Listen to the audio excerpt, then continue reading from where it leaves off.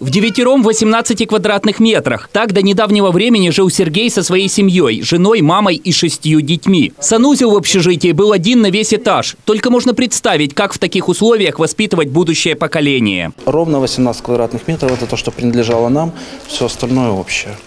Ну и понимаете, что у соседей детей практически вот э, еще года два назад не было, поэтому дети, конечно же, всех раздражали так или иначе, тем более, что у меня старшему 12 лет, а самой маленькой Год и восемь. год и 8, поэтому они все маленькие, любят шуметь, бегать, двигаться и...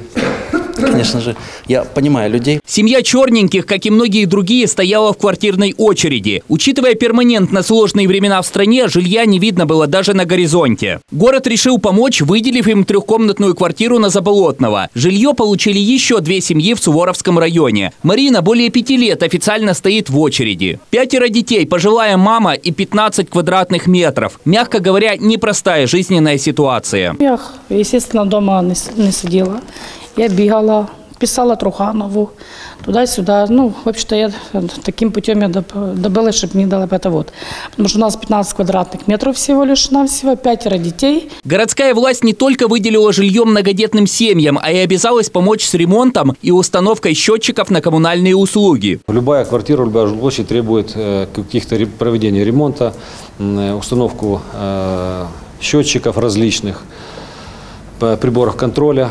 я попросил районную администрацию, наши ЖКС, управляющие компании, они рядом уже провели обследование, уже понимаем, что нам необходимо, и мы поможем в установке, в проведении, и в том числе ремонта, и там, где это будет необходимо. Проведение ремонта, проведение установки приборов учета и так далее, и так далее. Различных техники. Сегодня мы подарили три телевизора.